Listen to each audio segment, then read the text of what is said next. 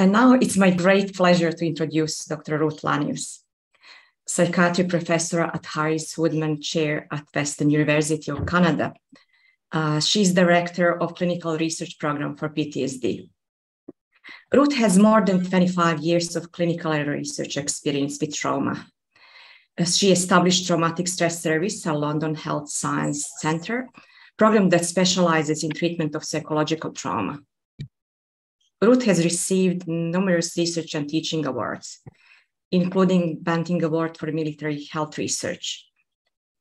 And Ruth publishes a lot. She published over 150 research articles and book chapters, focusing on brain adaptation to psychological trauma, and also to uh, new approaches to treatment of PTSD. Ruth regularly teaches on topic of psychological trauma, both nationally and internationally. She is co-author of two books, The Effect of Early Life Trauma on Health and Disease, The Hidden Epidemics, and also Healing the Traumatized Self, Consciousness Neuroscience Treatment. And for me, uh, Ruth as a clinician and researcher is a combination that is not often seen that you have a great clinician with a great and deep understanding of uh, trauma and work with clients and also a brilliant researcher. Ruth we are really grateful for having you on board and, and having you as a champion for, for neurofeedback. It's really um, great honor to have you with us today and also to give us opportunity to thank you for work that you did for our field and for work that you are about to do as well. Because i believe that with having you on board and having your research to support what we do is giving the whole field more credibility. And um, i expect that in the future we'll actually as a field progress much faster. Uh, and that is also due to your research and work that you are doing. So welcome to Australian Conference, ANSA Conference, and we're looking forward to hear your keynote. Thank you so much, Mariana. It's a, such an honor to be here at the ANSA conference. And uh, I'm so impressed with what you've done under your leadership in Australia with neurofeedback, the trainings and the clinical work you've done. I think is so impressive and I really admired it. So uh, it's a real pleasure to be here today, virtually, of course. And so today I want to talk about uh, alpha neurofeedback. That's a treatment we've been researching and really talking about reaching a new steady state after trauma and really moving towards the restoration of the self. And we have some hot new data off the press, uh, really looking at the mechanism of alpha neurofeedback and how this may be restoring the sense of self.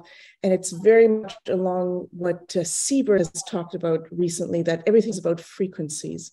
And if we change frequencies, we allow, allow us to connect to ourselves and to others. And so I want to follow uh, what Sieber has been talking about over the last several months. But to start with, I need to thank all my collaborators without whom this work would not be possible. And I'm really indebted to uh, Tomas Ros, who first brought neurofeedback to our group, and we're still collaborating with him. Also, Andrew Nicholson, who has done a lot of the analysis, and more recently, Saurabh Shaw as well. So without my group, this work would not be possible. So I just want to give you a quick overview what we'll be talking about this morning. Um, first of all, we're going to review the clinical and neurobiological evidence underlying the sense of self after trauma. And then we're going to discuss how alpha neurofeedback can restore the sense of self, and specifically what frequencies get restored that may be instrumental in really helping that sense of self come online. And then we're going to talk about some recent work we've also been doing, which is really disseminating alpha neurofeedback as an adjunct treatment for Indigenous populations in Canada. And here we're working very closely with Patricia Vickers, who's a wonderful therapist who did neurofeedback herself And she's now bringing alpha neurofeedback into various Indigenous communities in Canada. All right, let's start out with something that we all know, and that is how the sense of self is really severely affected in the aftermath of trauma, right? And of course, when we're thinking about developmental trauma, that sense of self frequently never developed. And if we experience trauma a little later on, often people's core issue in the aftermath of trauma is that I am not myself anymore, right? So either we don't have the sense of self ever developing, or we have a loss of the sense of self. That is absolutely paramount to the experience of trauma. We also know that there's a cognitive part of the self and a bodily part of the self. And I think when we talk about the cognitive self, it's just not it's not just the cognitive sense of self, but it's the cognitive slash affective sense of self, as we'll talk about later on. And so, how do people experience themselves as they talk about themselves cognitively? And often they say, I feel dead inside, or I always feel on edge, or I don't know myself anymore, or I'm bad, especially if they're experiencing a lot of shame, or I don't deserve to live, or the world will never be the same. And then, of course, trauma is also very much seated in the body, as we know, for example, from Bessel van der Kolk's book, The Body Keeps the Score.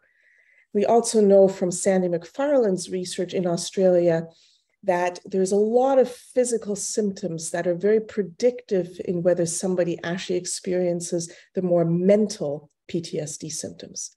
And this is what Sandy McFarlane's group, for example, found that people in the aftermath of trauma often complained about flatulence or burping, or faster breathing than normal, or feeling short of breath at rest, or having a rapid heartbeat or feeling like your bowel movement is not finished, or having pain in the face, in the jaw, in front of the ear, or having lower back pain.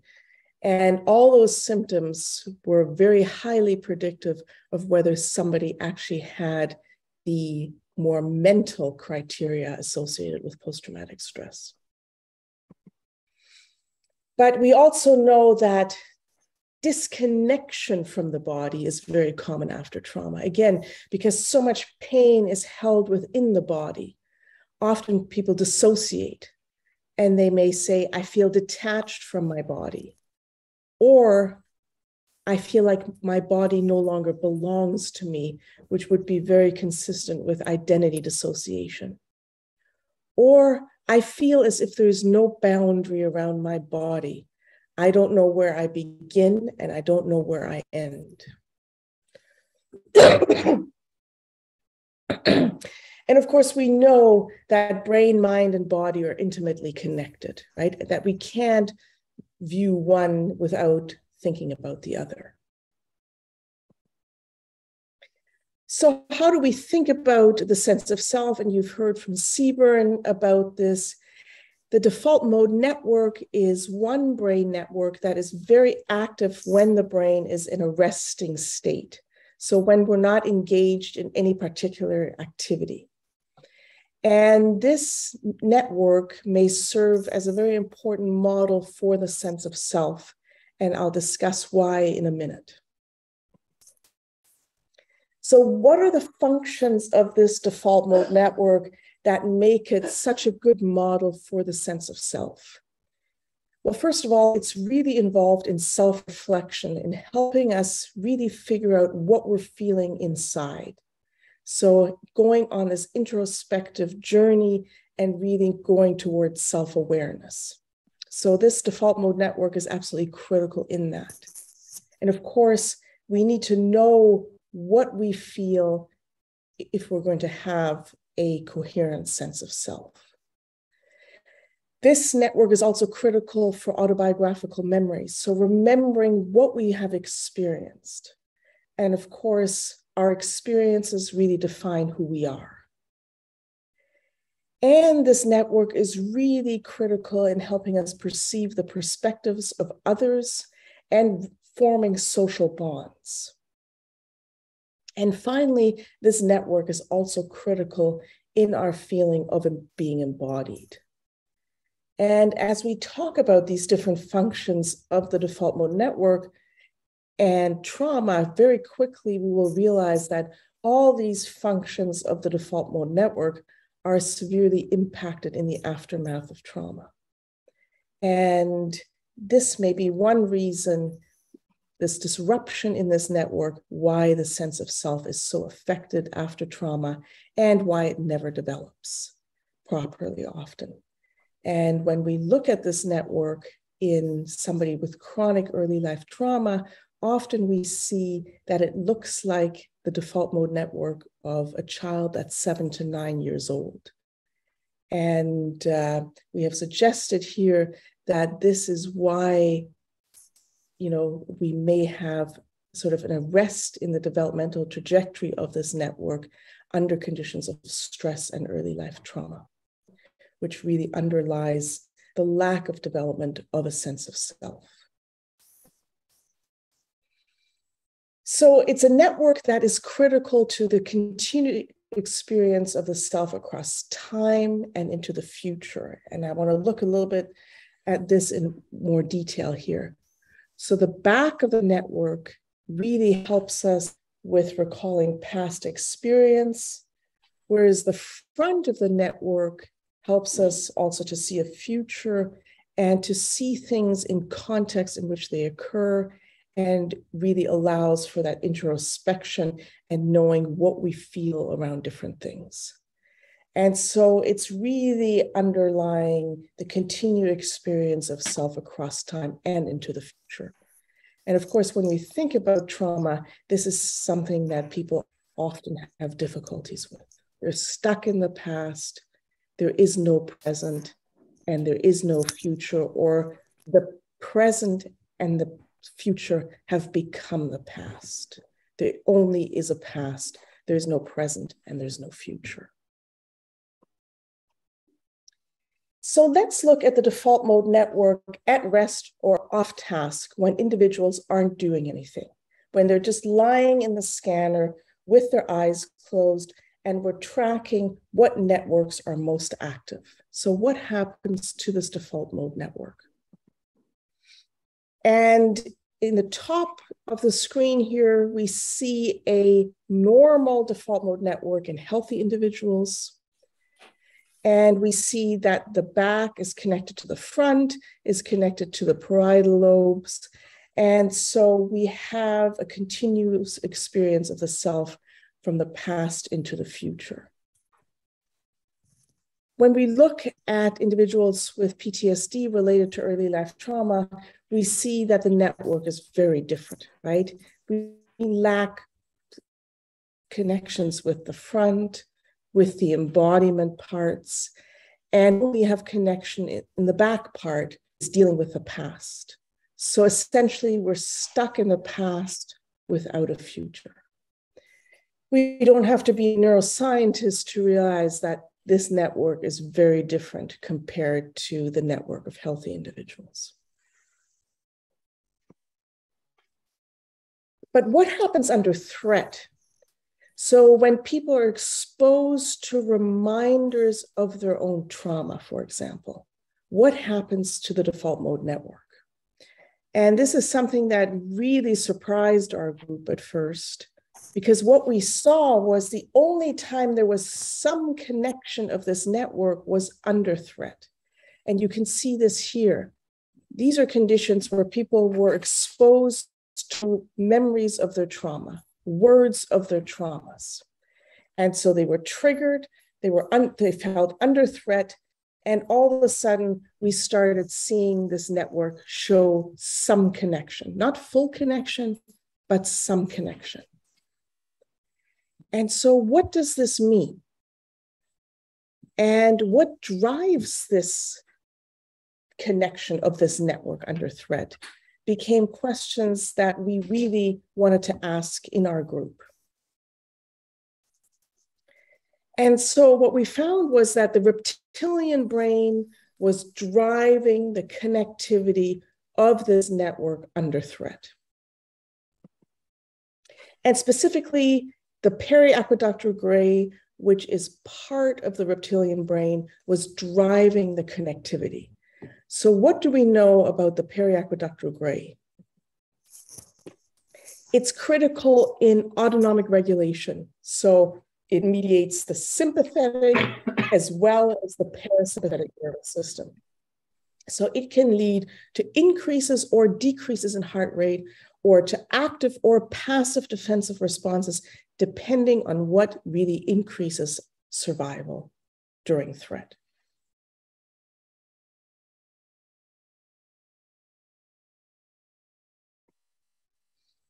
But it's also critical in primary emotional systems. And this is work done by Jaak Panksepp. And so he's shown that something that animals and humans have in common is that we experience these raw affective experiences as part of seven different emotional systems, which include play, panic, rage, fear, care, lust, and seeking. So these are all raw emotional systems that originate in the periaqueductal gray, in the reptilian brain, and then connect with higher parts of the brain to, uh, in humans, make us conscious of the feeling, make us able to communicate our feelings to others. But it's really the raw emotional experience that is the beginning of affective and emotional experience. And again, when we think about our traumatized clients, it's often this raw emotion that people are troubled by, right? This raw emotion haunts them and they experience it as visceral sensations in their body. And it's very hard to treat because it's such a visceral sensation. And so, if we only intervene at the level of the cortex, often our clients come in and they tell us, you know, I know this wasn't my fault, but I can't stop feeling it. So we would hypothesize that if we have a client, you know, who says that, it's really the periaqueductal gray that's still driving a lot of the visceral distress.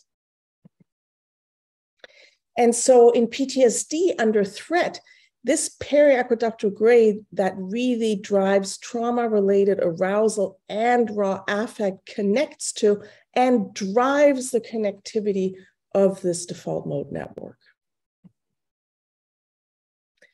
And so, again, as we just talked about, the periaqueductal gray mediates physiological arousal and raw affect associated with the trauma. And the default mode network, of course, mediates how we view ourselves in this world. And so, under threat, these two become coupled, right? Under traumatic conditions, trauma related arousal and affect becomes coupled with how we see ourselves in this world. And to clinicians who work in the trauma field, that is, of course, no surprise because that's what we deal with on a daily basis. And so, what happens is that trauma related affect and arousal influences who we are in this world. And so, I think here we really have to push back at the Cartesian fallacy that has, you know, I think slowed down the field for years. I think, therefore, I am. And I think we have to put it on its head and really think about it's I feel, therefore I am. And it's those feelings that are driving our thoughts, how and our self related perspectives, and how we see us ourselves in this world. So I feel, therefore I am. And I think this is really influencing our patients as well, right? It's their feelings, and that's how they see themselves in the aftermath of trauma. And so I think trauma really becomes central to one's identity, right? And it's the feelings that are really driving that.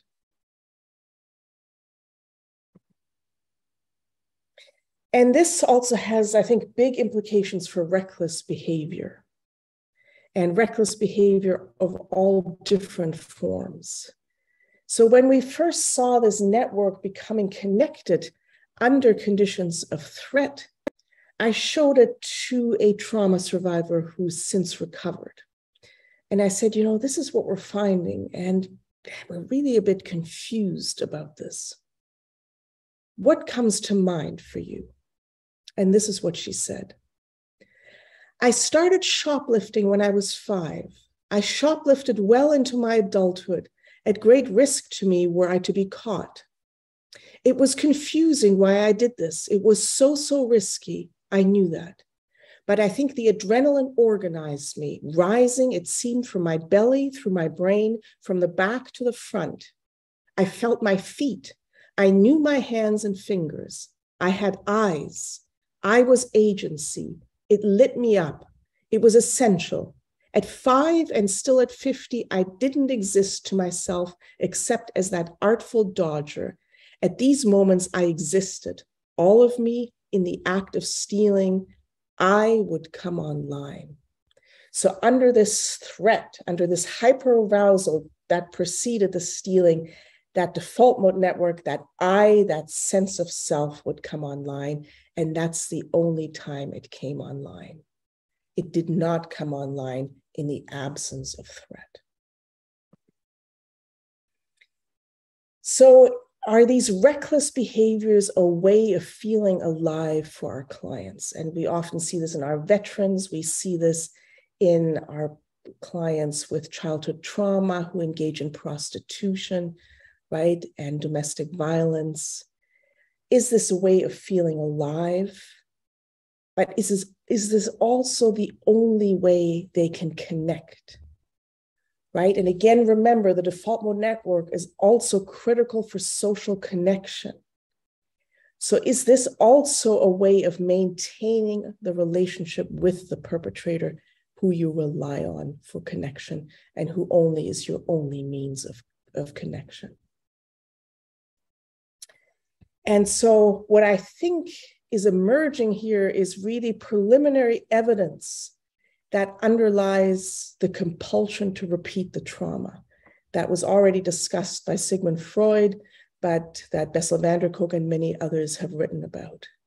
And that is so core to our patients, right? That compulsion to repeat the trauma keeps them stuck and makes us frustrated as therapists and I think beginning to have a neurobiological mechanism to help explain this will decrease the stigma and really help increase the empathy and guide treatments to what we can do to overcome this. And I think this is really at the core of what we need to change in treatment, and of course, including with neurofeedback. So it's really about getting the self back into a healthy rhythm. And so we've talked about how the default mode network is the dominant network of the resting brain. And so now let's start talking and relating the default mode network to brain frequencies and how the two fit together. We know that the alpha waves, so 8 to 12 hertz oscillation, the alpha rhythm, have also been shown to be the dominant electrical activity of the resting brain. So, in terms of brain networks, it's the default mode network that's the dominant network. And in terms of frequencies, it's the alpha rhythm that's the dominant frequency of the resting brain. So, how are those two related? And studies are now showing us, you know, a good association between alpha oscillations and default mode network activity and connectivity. And it's being shown more and more now that it's the alpha rhythms that are likely organizing the connectivity of the default mode network. And of course, we also know although we need a lot more work on this, that PTSD is associated with alpha abnormalities. And usually people with post traumatic stress have low alpha. And this may be one mechanism underlying this very disconnected default mode network and this lack of a sense of self in trauma.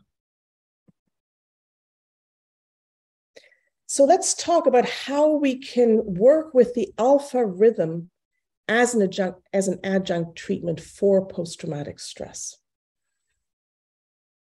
And here I just want to give two clinical scenarios before I get into the brain data, because I think there's some beautiful examples of what this form of neurofeedback can do for individuals.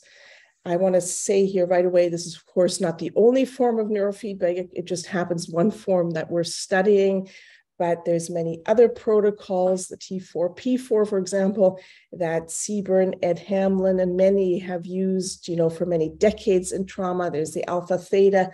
So this is just one protocol that we chose to study you know, there's uh, two other protocols that also have been shown to be effective through RCTs, but of course, we also have lots of clinical evidence that support the use of other protocols. But I want to give two examples from the alpha neurofeedback because that's what we're focusing on today. So, of course, when we think about uh, the restoration of the self, affect regulation is at the core. And of course, this is what Sebern always focuses on and the importance of affect regulation after neurofeedback. And this is one woman who was uh, seeing uh, a psychotherapist for combined psychotherapy and neurofeedback. And she did a number of different protocols, but she also did quite a number of alpha down sessions. So, this is what she said during the last week, I had come across a very lonely and desperate place from which the navigation out was tricky. When I was informed that visitors were to arrive soon, I felt very panicky and anxious. This is not very unusual. I normally find a way out there and then manage to endure the best that I can do, the idle chatter for two hours, which seems to be my limit. Then I need to find a way out, Yesterday, I realized that I was not going to be able to do at least that. Hiding in my bedroom was not an acceptable option and wouldn't bring relief either. I needed to shift out of that state, and on my own, I couldn't, not for lack of trying. So I did a 15 minute alpha down training session. There was once again immediate relief, not just relief, the discomfort was gone the desperation was gone. The rumination and obsessive judgmental inner chatter had stopped. I did not feel anxious or afraid. I was lucid and calm, and I was able to make rational and collected plans. With the visitors, there was a three year old that had a tantrum that got a bit out of hand. I observed this and could see the dynamics. With the permission of the parents, I engaged and calmed him down within a very short period of time. I had explained before how I find hosting dinners, etc., very daunting and avoid it as far as possible. As I had done once before after an alpha down training session, I invited the people to stay for dinner. It is as unusual as unusual can be. I engaged in conversation without effort. So a beautiful example of, you know, somebody who really uh, gained increased affect regulation with the use of alpha neurofeedback in combination with psychotherapy and other forms of neurofeedback as well. Then I want to give you an example from the same woman. Um, and here she talks about something that I think as a field we don't talk enough about. And I think Sebern, you're the only one who really talks about this. And this is this yearning, this incredible gut wrenching yearning for a caregiver. And I think it's something that needs to be much more at the forefront of our consciousness because I think a lot of our patients are torn apart by this incredible yearning. And so this woman again describes her experience of this yearning in relationship to alpha neurofeedback. And she said, after three minutes of alpha down, I started feeling a strange and uncomfortable physical sensation. I had difficulty describing it at first because it was unlike anything I was familiar with. Afterwards, I figured out that it was an awareness of my entire body that happened, which prior to that always had been very fragmented, like much else. I stopped after four minutes. Then, when my physical discomfort lifted, the desperate yearning was gone, not less intense, it was gone. And she goes on to describe, I won't read that for the sake of time now, but this yearning was really gone for her, and she reflects further about it. And I think this is something we need to think about in terms of outcome of trauma treatment much more as well.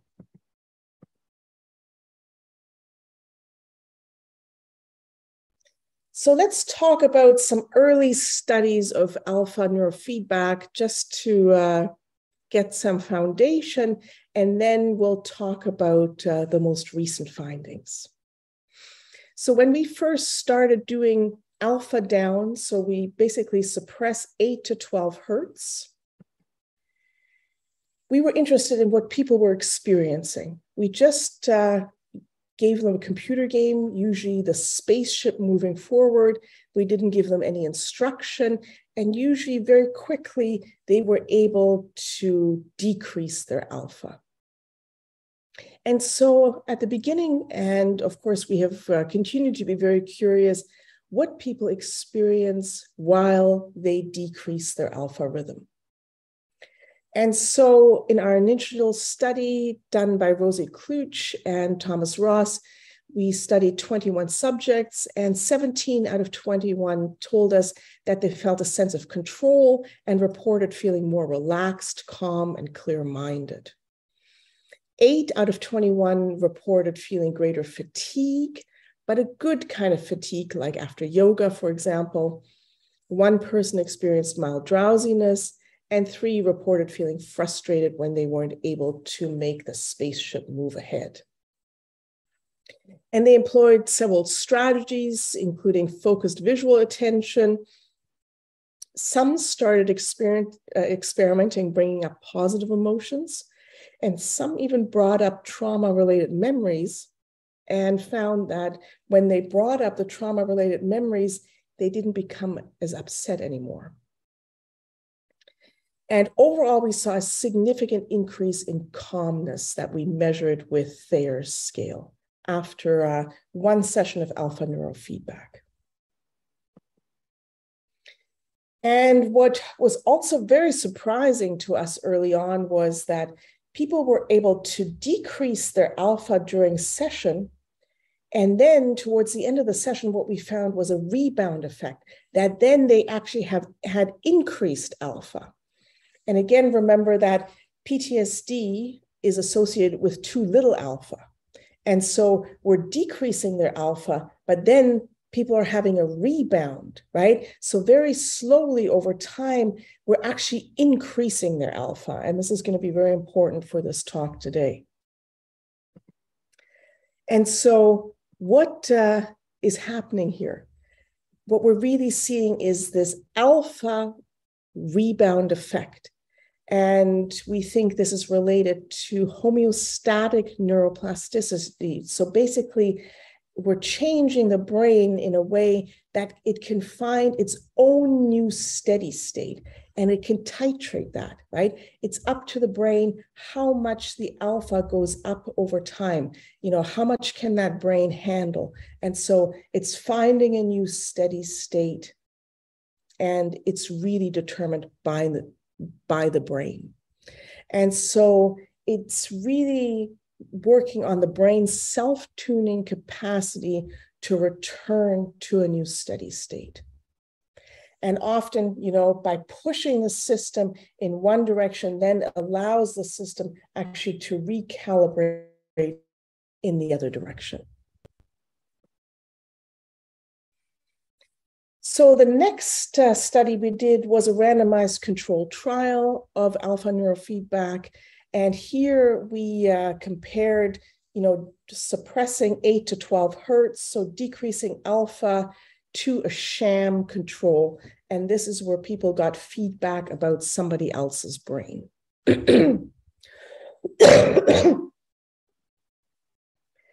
And so people had 20 weekly sessions of alpha down, and they had an fMRI scan before and after treatment. And then we also had a three month follow up session. And in addition to the fMRI, people also had EEGs before and after treatment. So we can track the brain networks but also the brain frequencies associated with neurofeedback. You all know how neurofeedback works, so we don't need this slide today. And so this is a, a slide showing that uh, people in the experimental group, so in the red group, compared to the sham group, which is the blue group, that they actually decrease their alpha during the sessions. And this is important to show that people are actually doing what you want the neurofeedback to do.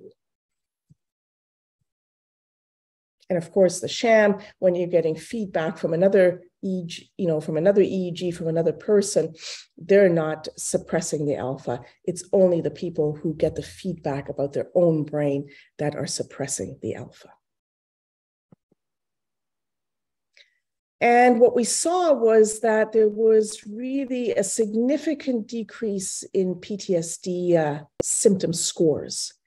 And after the neurofeedback, not the sham, 61% of people had remission from PTSD. So they no longer met criteria. We also had no dropouts in that condition. And the effect size is about one. So it's comparable to the gold standard treatments for post traumatic stress. So, you know, a really promising effect.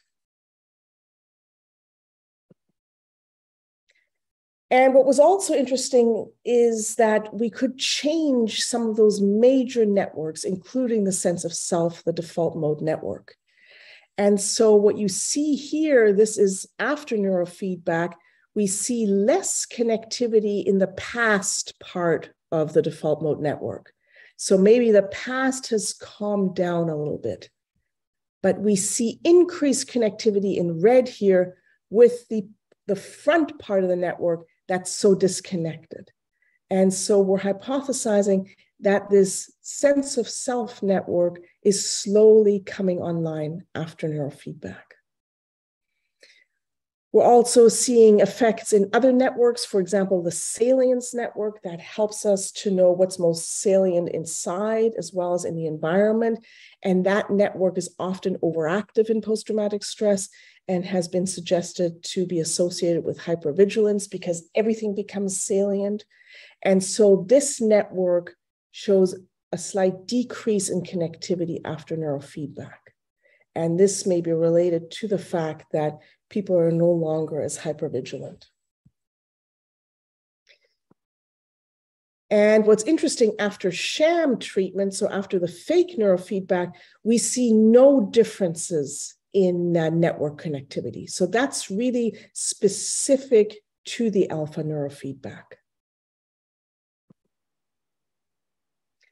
But now we also want to look at oscillations, right? So we've now looked at how we can restore some brain networks after neurofeedback, especially the sense of self network, how that starts to become uh, more connected. But we also want to know what's happening to the alpha rhythm, right? Because as we've talked about earlier, it's the alpha rhythm that may be critical in helping this default mode network connect. So, what happens with the alpha rhythm. And I would hypothesize that we're really, with the neurofeedback, bringing online frequencies that help us to connect to ourselves as well as to others. So, to really be in synchrony with ourselves, the world, and the world around us.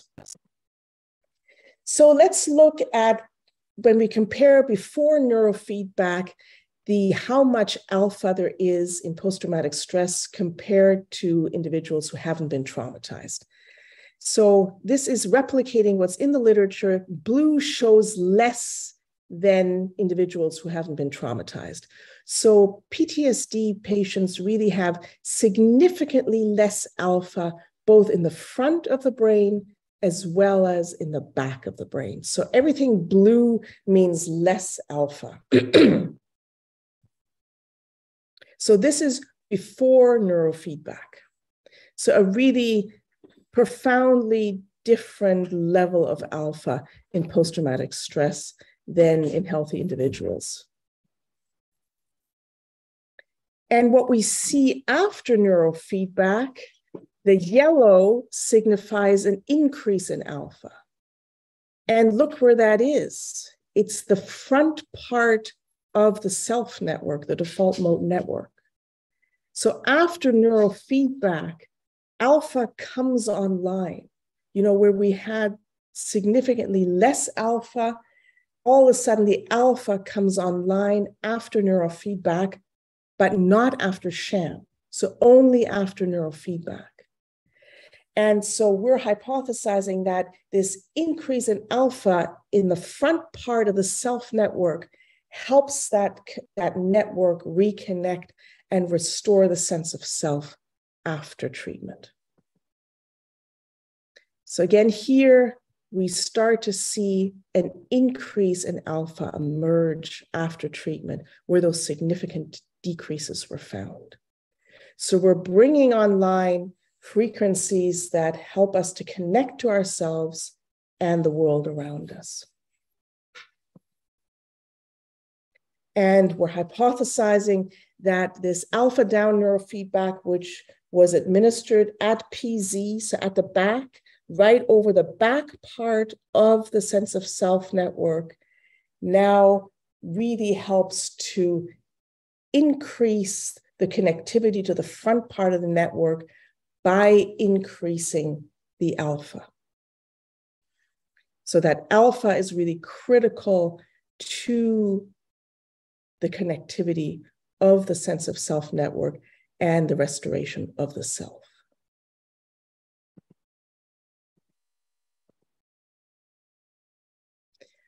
So we're talking about restoring the sense of self or bringing it online, sometimes for the first time in the aftermath of developmental trauma. And so we're really able to move from the traumatized self where this default mode network was so disconnected to the recovered self. So, where we start to see reconnection of this network. And we're starting to see that the brain frequencies, of course, are very much related to the connectivity of the brain. So, this network is now starting to be in synchrony. The back and the front part of this network is starting to be in synchrony. And it is really bringing the rhythm of a healthy sense of self at rest that's not under threat online.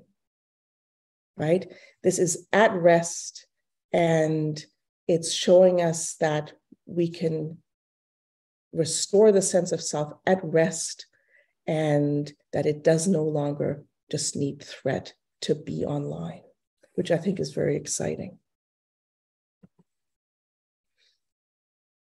so these are the, the uh, results from the randomized control trial in a nutshell. And of course, something that's really uh, important and needs to be at the forefront of our thinking in neurofeedback is how do we disseminate neurofeedback at the same time as we collect more research, of course? How do we disseminate neurofeedback? And here I was very excited to see that a group in Rwanda had actually uh, replicated the Alpha Down protocol with uh, affordable wearable uh, EEG equipment. And I was very excited. They uh, also replicated this alpha rebound effect so that low alpha uh, slowly normalized and that people had this rebound effect and that their PTSD symptoms improved significantly. So I thought that was very exciting to see. And also, how can we bring neurofeedback to special populations, right? How do can we disseminate neurofeedback among special populations? And of course, indigenous populations are incredibly important here because they have suffered such tremendous intergenerational transmission of trauma. And so I was very lucky to get a phone call from Patricia Vickers uh, several years ago. And Patricia is a wonderful uh, therapist working in British Columbia in Canada, so on the West Coast. She's from the Haida Gwaii Nation. And you can see an image here. So, a beautiful piece of uh, northern British Columbia. And Patricia really is very experienced in the integrative treatment of trauma. She has many modalities that she uses. But importantly, also, Patricia had her own journey with neurofeedback. So, Patricia suffered from complex trauma, which she speaks openly about. And she had a wonderful journey with neurofeedback herself. And so she thought it was time to bring neurofeedback to her own people. And uh, she's completed one project with the Haida Gwaii people in Northern British Columbia. And she's now already moving on to her second project in a different community, bringing neurofeedback as part of integrative trauma treatment. And of course, also including many traditional indigenous healing practices. And I think this makes it uh, so powerful, as you'll see in a moment. So I think what we need to talk here about is really Canada's very dark past of how Indigenous peoples were treated, especially when it comes to the residential schools, but not exclusively to the residential schools. And so this, these statistics here are really shocking. And so the odds of dying for children in Indian residential schools is one in 25. And the odds of dying for Canadians serving in World War II was one in 26. And recently, uh, this has really come to light more. This information was really hidden for many, many years. And recently, many uh, graves of Indigenous children have been discovered in Canada. And uh, I think we've recovered over 5,000 dead children now, predominantly from these residential schools. So it's really a huge problem that plagues our country to the present day. And so the intergenerational trauma in these populations is really horrific. And so they're so deserving of good treatment.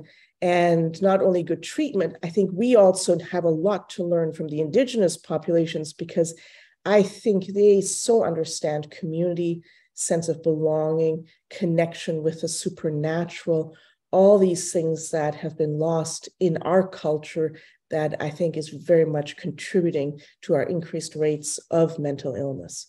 So we have so much to learn from these populations. And I think collaboration is going to be such an important uh, way moving forward. And so this is uh, what Patricia shared with me.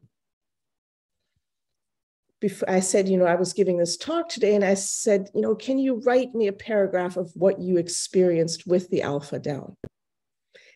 And so this is what she said. Neurofeedback Alpha Down has proven to be a gentle method that supports the client to see their capacity as they watch their brain in action on an iPad screen. I have witnessed profound change in clients through attending neurofeedback sessions for 30 minutes twice a week. So it's intense. And anybody who has done Alpha Down knows that 30 minutes of Alpha Down twice a week is very intense. Then Patricia goes on to say clients who choose to process traumatic childhood memories, I also combine somatic experiencing and deep brain reorienting. So she really does a combination of the neurofeedback, but also trauma processing. And she says their integration was smooth, natural, and deep. They then take their healing further by speaking to community members about their awakenings learnings and healing without blame, judgment or criticism towards their caregivers. So it's very much a healing in community, you know, a healing that goes on between them and their therapist, Patricia, but then a healing that's taken to the community, which I think is incredibly important. The combination of cultural wisdom through ceremony, song, and language has been the foundation for intergenerational healing and a bright contrast to our history of atrocities. So, this is Patricia's experience. And these are some of the things that individuals have told her. And so I'll just give you some quotes. One person said, I don't overreact. I used to slam the door to make a point, but I see that doesn't help. Another person said, I never realized how much anxiety I had, and I can now see it and tell myself I'm okay. Another person said, I lost it the other week and couldn't stop crying. My family didn't know what to do. I went for a long drive and sat in a field until I felt better. And another person said, Before I would be terrified when the power went out, when I had to get up in the middle of the night in the pitch dark. But now I can go back to bed without lighting a candle. And the last person said, I'm generally calmer. I can remember my childhood with less anxiety. So, some beautiful accounts. I also had the honor of meeting some of the people who completed Patricia's uh, really integrative treatment. And it was wonderful to hear their experiences. And what I really learned during that session was how deep seated internal oppre- internalized oppression really is you know i came into the session you know really wanting to learn and i said you know i'm so curious to learn from you. And two of the people said to me, What would you want to learn from an Indian? And I thought, wow, how sad, right? How deep seated that internalized oppression. But uh, both uh, Saurabh Shah and I are going to go and visit uh, the community where Patricia administered the treatment and this is part of the indigenous practice of doing uh, an intervention and research. And they're going to share their experiences. So I very much look forward to that. We also have some preliminary results uh, with the alpha rhythms. And again, you know, we used Myndlift for this experiment. So we don't have, you know, obviously sophisticated EEGs. But in the first cohort, Patricia saw 20 individuals and 14 completed the 20 sessions. And the ones who completed the 20 sessions really had a biphasic alpha pattern. So their alpha went up early, and then they would process the trauma. And while they did that, it came down a little bit again, and then it went up again. And there were also six non completers that didn't feel that they were able to do this work at this time. And what was interesting is that they did not show this biphasic alpha pattern.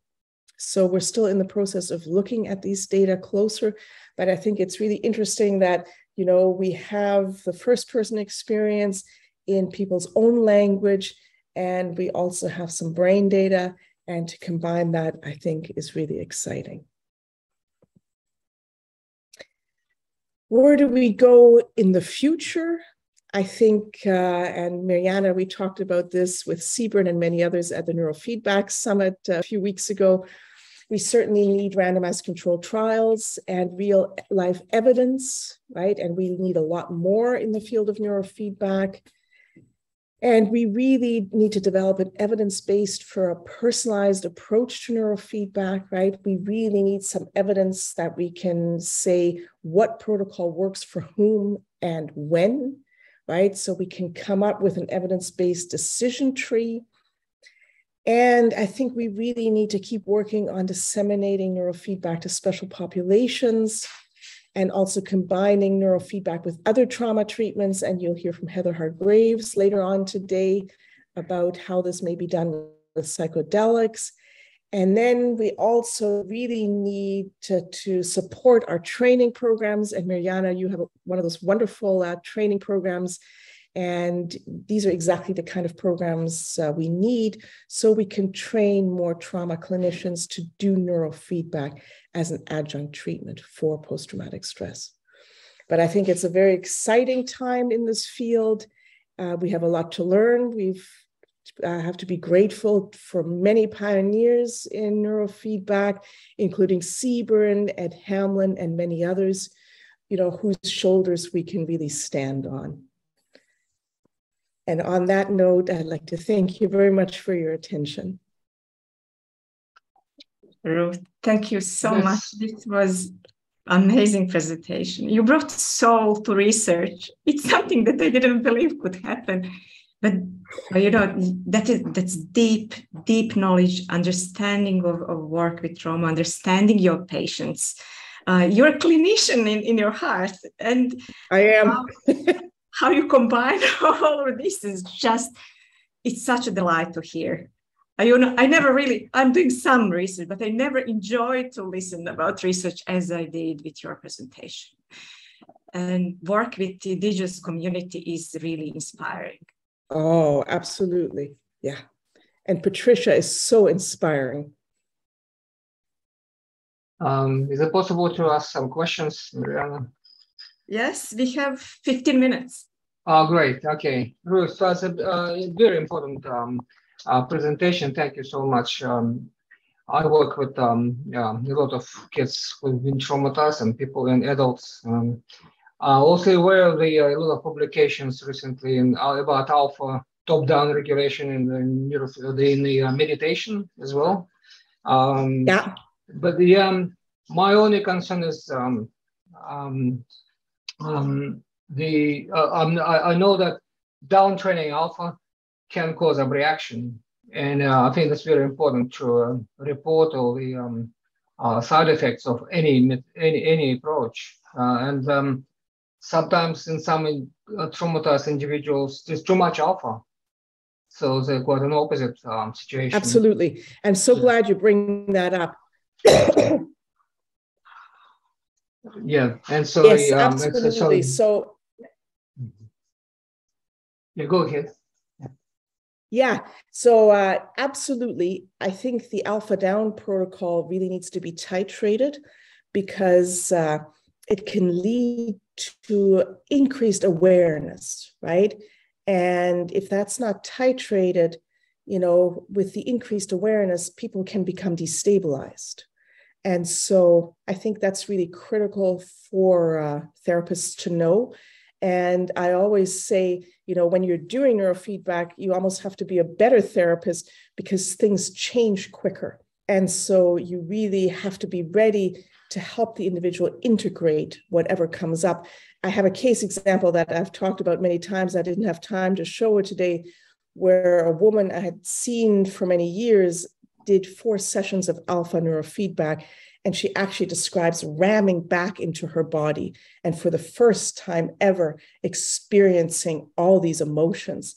And it really was an identity crisis for her. And uh, you know we really had to work with her to incorporate those new feelings. And she was able to do that because you know i had seen her for many years and she had the skills available. And so i think we have to be aware of that with the alpha down protocol. You know there's other protocols we can combine as well. We don't have to do alpha down but it's certainly something to be aware of. And thanks for bringing that up. Thank you very much ruth hmm. It'd be interesting to collaborate um, for all. Yeah, it's really important, I think, for all of us to collaborate in um, in um, using UA pro- this approach and um, um, and also share how we manage the reactions. Thanks very much. Absolutely, absolutely. We have Terry and Martin, but I would like also Sebern to comment after that. Sebern, if that's okay with you. Oh, hi, Ruth. Thanks very much for that presentation. Very interesting. I was wondering, it's obviously done with eyes open if you're looking at an iPad. Is that, is that yes. correct? Eyes, eyes open. Yes, it is. Yep. Okay. And so I'm wondering, how does that compare with, say, alpha theta training? Have you done any comparisons with alpha theta training? No we haven't you know this is so time consuming all this research and you know the way we measure outcomes which is with the ptsd scale you know if we did head to head comparisons i wouldn't expect to find anything on the PTSD measures. I would expect to find things probably in terms of subjective experience. But right now, we're still limited to, you know, really having to show a change in PTSD symptoms. And so I don't think that would be a fruitful approach if, if what I say makes sense. Okay, thank you. Thank you. Martin? Okay, um, I have two questions. The first one, you mentioned that PTSD clients tend to have lower alpha. So does it refer to alpha magnitude in eyes open or eyes closed? Eyes closed and eyes open, I believe. But uh, this was from the gentleman uh, who asked the first question this is something that also needs to be explored more. So, in general, I think the alpha power is low.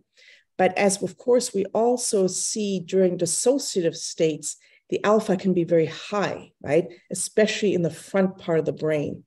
And so I think an avenue for future research that's really important is to really figure out, you know, when is the alpha up also, which can certainly occur in individuals who are highly dissociative. So I think this will be a very important uh, field for the future. Um, you showed those uh, beautiful brains with blue, and then after um, neurofeedback, I assume when you say after neurofeedback means after completing a certain number of sessions, correct? Or is that after a session? So you, you yes. showed those gray no that blue, is after those gray and blue brains um, was that eyes open or was that eyes closed Yes, yeah, so that was after 20 sessions of neurofeedback, and that was after eyes, an EEG during eyes closed. Okay, and my second question is about the training protocol what exactly is the montage and what exactly is the methodology of training that alpha down? Yeah, so we use the EEGer system.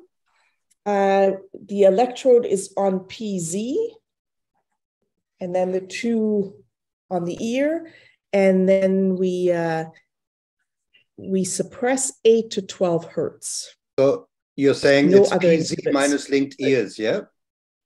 Yeah and we inhibit 8 to 12.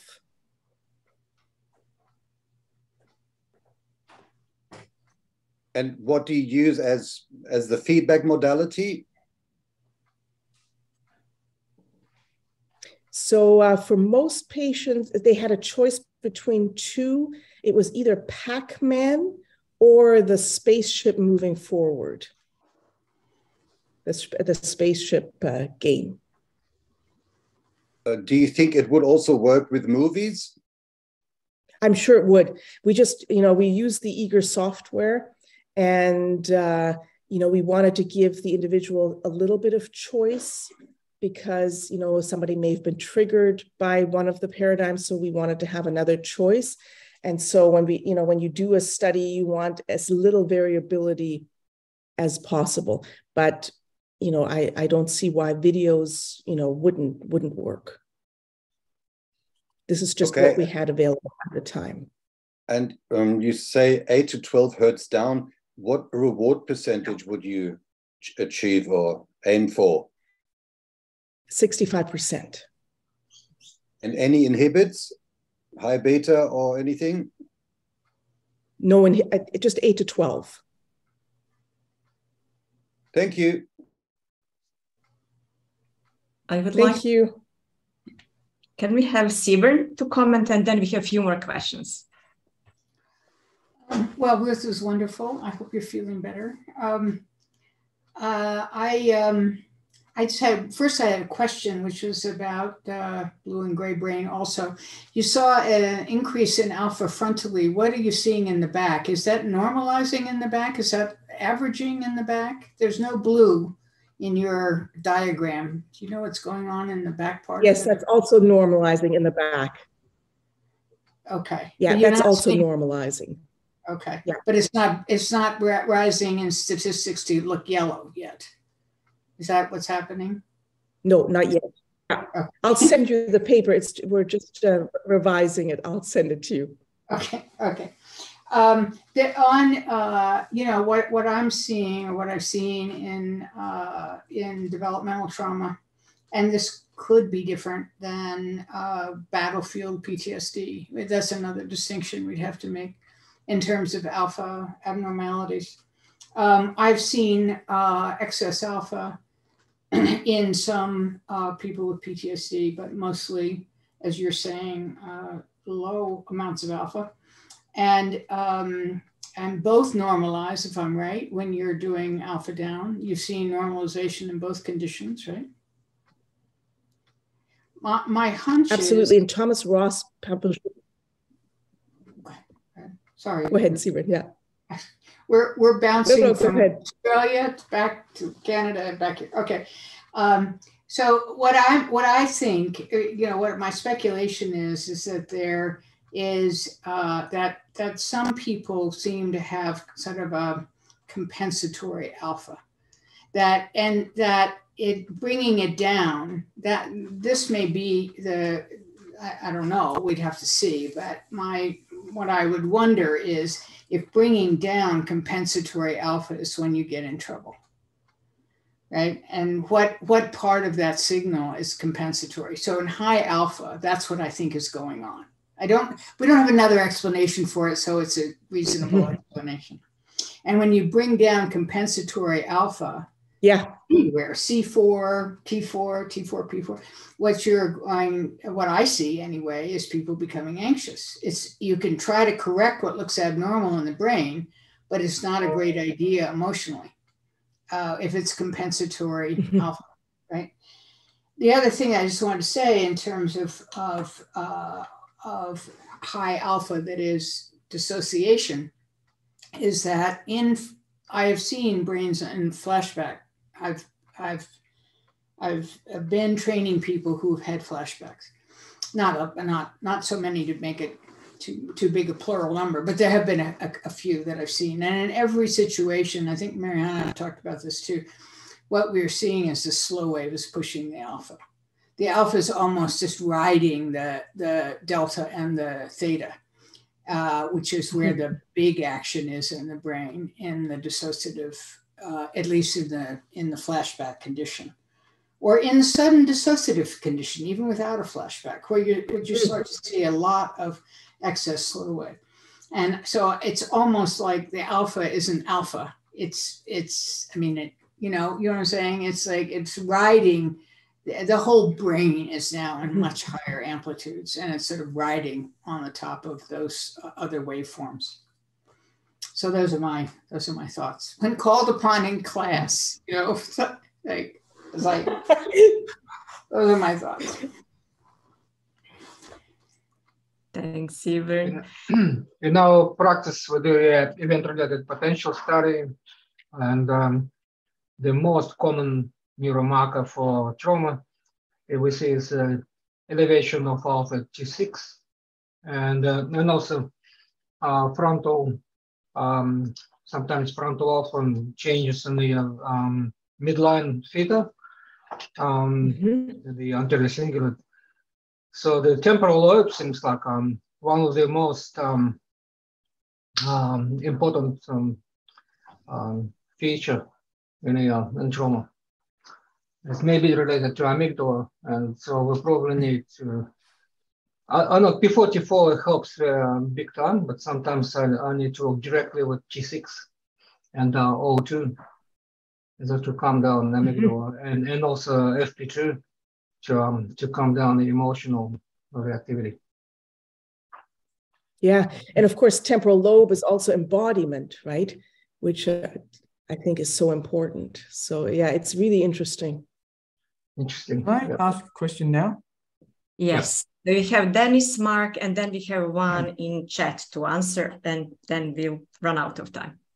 Yeah, I've normally uh, used the alpha uh, theta protocol with eyes closed.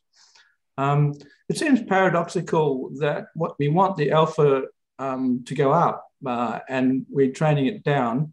And so, I mean, I understand that there's a kind of a rebound effect. I, would like to get some better idea about what's uh, what's the mechanism going on in the uh, in the, in that rebound, and also um, what is the experience of someone who's um, got low alpha and they're training down the alpha uh, for for ultimately to rebound. But what's their experience emotionally while they're training it down?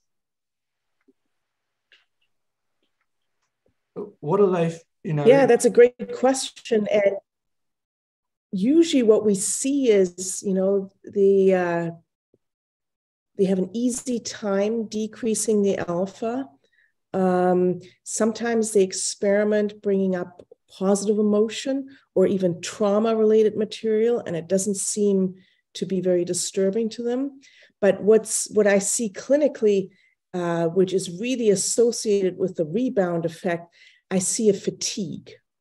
And so people, you know, repeatedly report, you know, that they're starting to get tired. And I always say to the patient, you know, the length of the session is determined by you right so you need to check in with your body and you need to know you know is this enough or do we do another set and almost invariably this fatigue sets in and you know i can when i see the alpha creeping up i know okay i'm i'm pretty sure they're going to say i'm a bit fatigued now let's leave it at that for today. And so that's something clinically i've uh, repeatedly observed. Um, what I observed with one of my clients who has dissociative identity disorder after she had done a few uh, alpha down sessions, what I could really uh, observe was that she moved away from switching and she was able to have enough reflective capacity and top down emotion regulation capacity to prevent her from switching. That was really interesting as well. But the fatigue, I would say, is the most consistent uh, clinical symptom I, I see associated with a rebound. Uh, and so, if their alpha is down and uh, the, in the protocol they train it down even further, in, mm-hmm. in, in that, do they experience um, more traumatic, uh, more trauma, or, or is it more repressed? I would say neither. Mm-hmm. Ah, That's not something I observe. And I've trained alpha down with individuals who had very, very low alpha. And mm-hmm. what I see over time is that the alpha starts to normalize, it starts to creep up very slowly. So, so what it's more like it's um, increasing the flexibility in the whole frequency yeah. band in the brain. It's like a yeah. chiropractic adjustment. Exactly. Yeah. You, right. You're you're suppressing it, and that allows it to then recalibrate. Right. right? It right. it unsticks it from being stuck in a certain state. It unsticks it because you're making it more mobile. Getting it unstuck. And then it, yeah. Re- yeah. Okay. Yeah. Right. Thanks. Okay, we have Thanks. time for last question, Mark, and then just one online, the one that was sent in chat, and we have to keep going with our program. Thanks. Hi, Ruth. Um, I think Dennis has probably mostly covered the question I was going to have, which was what was the reasoning behind suppressing alpha if it was already low? Um, but that's, I think you've answered that pretty much there. Was there an actual did you have a reason behind let's go for suppressing something when we actually want it to increase?